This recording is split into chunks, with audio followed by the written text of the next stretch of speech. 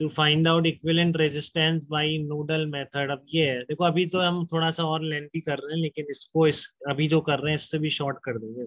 जैसे ही मैं आपको सबसे last symmetry opposite path symmetry पढ़ाऊँगा तो आपका ये एनालिसिस अभी हम नोडल से कर रहे हैं, काफ़ी शॉर्ट है अभी, क्योंकि दो ही वेरिएबल बट इससे भी शॉर्ट हो जाएगा। और ये बहुत ही कॉमन क्वेश्चन है, ये आता रहता है, ये कोई कॉम्प्लिकेटेड सर्किट नहीं है बहुत ही बेसिक प्रॉब्लम ठीक है ना? कि आपको इक्विवेलेंट रेजिस्टेंस निकालना है बिटवीन ए एंड बी तो यहाँ पर कोई भी आपको सीरीज़ पैरल में नहीं दिखेगा बेटा। ठीक है ना? यहाँ पर कोई भी सीरीज़ पैरेलल में आपको नहीं दिखेगा।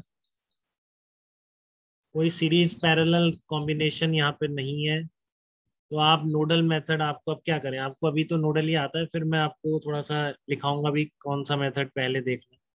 तो अभी कोई, अभी आपको एक ही चीज़ आती है और कुछ आता ही नहीं सीरीज़ पैरेलल वो आपको दिख नहीं रहा है तो इसलिए आप नोडल पे शिफ्ट हो रहे हैं।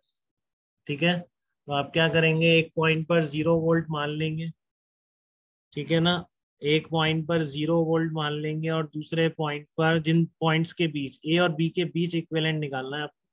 तो नोडल मेथड ये कहता है, आप एक जगह ज़ीरो मान लो, एक जगह बी मान लो। ठीक है ना? तो आपने अगर कुछ वी बाई आई का रेशियो कहीं से निकाल दिया वही तो इक्विवेलेंट रेजिस्टेंस है। देखो यही डेफिनेशन है ना कि अगर वी वोल्ट की बैटरी लग रही है तो सारे की जगह आप सेम किसी एक रेजिस्टेंस से रिप्लेस कर दो तो करंट वही निकल के आना चाहिए। तो यहाँ पर जब आपने वी वोल्ट की बैटरी निकाल, लगाई और यहाँ पर आई करंट मान लिया लेट से आई करंट है तो अगर आप वी बाई आई का रेशियो निकाल देते हो तो that will be called equivalent resistance ठीक है? तो टारगेट वही है यहाँ पर। क्या निकालना? वी बाई आई का रेशियो तो आई निकालनी है basically in terms of V तो आई निकालने के लिए दो यहाँ से रस्ते जाएँगे आई वन आई टू तो इसके लिए आपको क्या होना चाहिए? यहाँ का पोटेंशियल भी तो पता होनी चाहिए ना बेटा। ठीक है? तो इसलिए देखो, क्या मेथड है? नोडल मेथड इक्विवेलेंट सर्किट के लिए कैसे यूज़ किया जाएगा? पहले तो आप एक टर्मिनल पर ज़ीरो मान लो, दूसरे पर आप कैपिटल बी मान लो। ठीक है ना? एक टर्मिनल पर ज़ीरो मान लो और दूसरे टर्मिनल पर, क्योंकि आप देखो इक्विलेंट का मतलब ये है कि जिन दो पॉइंट्स के बीच निकालना है, वहाँ पर आप एक बैटरी लगाते हो वी वोल्ट ठीक है? तो जो फिर वी बाई आई का रेशियो इक्विलेंट रेजिस्टेंस कहलाता है उन दोनों पॉइंट्स के बीच का। तो ये आप ये हमेशा ध्यान रखोगे, जिन दो पॉइंट्स के बीच निकालना है, वहाँ पर एक वी वोल्ट की बैटरी मानी जा सकती है। तो एक पर ज़ीरो एक पर वी किधर भी मान लो आप, इसका कोई रूल नहीं। इससे आप किधर वी इधर मान लो ज़ीरो मान लो, कोई फ़र्क नहीं पड़ता, ठीक है ना? आपको पोटेंशियल कहाँ के नहीं पता, यहाँ के नहीं पता। ठीक है ना? यहाँ पर एक्स मानना पड़ेगा, यहाँ पे रजिस्टर आ गया तो यहाँ पर एक्स नहीं हो सकता तो यहाँ का भी नहीं पता तो यहाँ का और मान लो आप वाई मान ठीक है? यहाँ का और मान लो आप अभी तो। फ़िलहाल आप मान लेंगे, फिर आपका ये बहुत ही शॉर्ट मेथड हो जाएगा, आपका वेरिएबल रिड्यूस हो जाएगा। इसको आप अपने आप एक्स की टर्म में लिखने लग जाएँगे, जब आप लास्ट मेथड ऑफ़ सिमेट्री पढ़ ठीक है ना? अभी आप ऐसे ही प्रैक्टिस करिए। यहाँ का एक्स माना, यहाँ का वाई माना। तो क्या करा आपने एक्स को हाईएस्ट पोटेंशियल पर मानते हुए लिख दीजिए। तीन रास्ते जा रहे हैं एक्स से देख रहे हैं। ठीक है ना? तीन रास्ते जा रहे हैं एक्स से तो इधर कितना जाएगा आपका ये? X minus zero upon ten ये लिख दिया मैंने। नीचे कितना जाएगा यहाँ से? X minus Y upon five ठीक है? और इस डायरेक्शन में कितना जा रहा है ये? X minus V upon five equal to zero ऐसे ही आप इसके लिए लिखिए, इस वाले वाई के लिए लिख दीजिए, जो वाई अननोन है, हर नोड के लिए लिखनी पड़ती है। दो नोड वाला शायद पहली बार करते हैं, पहले हमसे एक में ही सारे काम हो जा रहे हैं। ठीक है? बट यहाँ पे हमको एक्स पता था, दूसरा नहीं पता था, वहाँ मानना पड़ गया। दो वेरिएबल तक नोडल में कभी कोई दिक्कत नहीं है बेटा, हमेशा इजीली सॉल्व हो जाए। दो से ज़्यादा में हमको नहीं जाना पड़ता, उससे पहले समेट्री वेमेट्री आप देख लेते हैं तो वो अपने आप ही रिड्यूस हो जाते हैं नंबर ऑफ़ वेरिएबल्स ठीक है?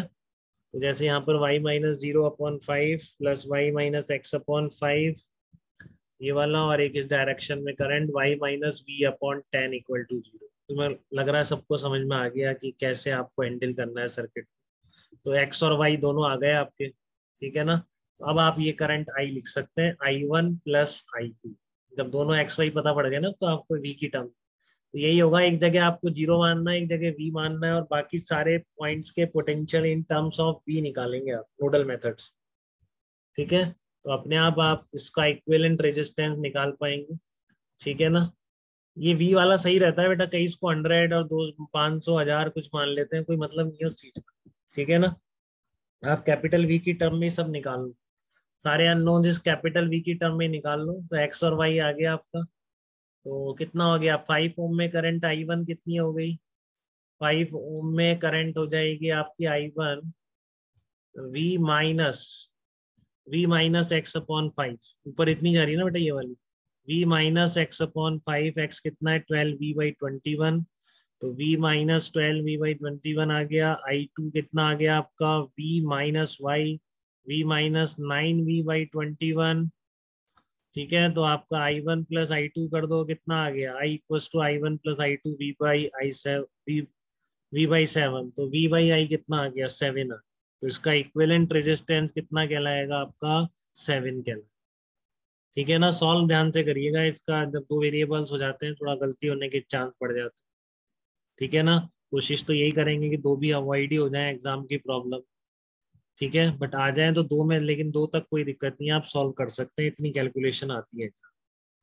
ठीक है बेटा तो आप एक बार फिर से सुन लीजिए, जब भी आप इक्विलेंट रेजिस्टेंस के लिए नोडल मेथड यूज़ करना चाह रहे हैं, जिन पॉइंट्स के बीच निकालना है, वहाँ पर एक पर ज़ीरो दूसरे पर कैपिटल वी और फिर सारे unknown variables in terms of capital V और फिर आप टोटल बैटरी से चलने वाली आई लिखोगे in terms of given resistances ठीक है ना? तो वहाँ से आपका वी बाई आई का रेशियो जो आएगा that will be equal to equivalent resistance of between those two points ठीक है? चलिए तो हम इसको और अप्लाई करते हैं शायद, या फिर हम सिमेट्री में एंटर कर गए देखना पड़ेगा।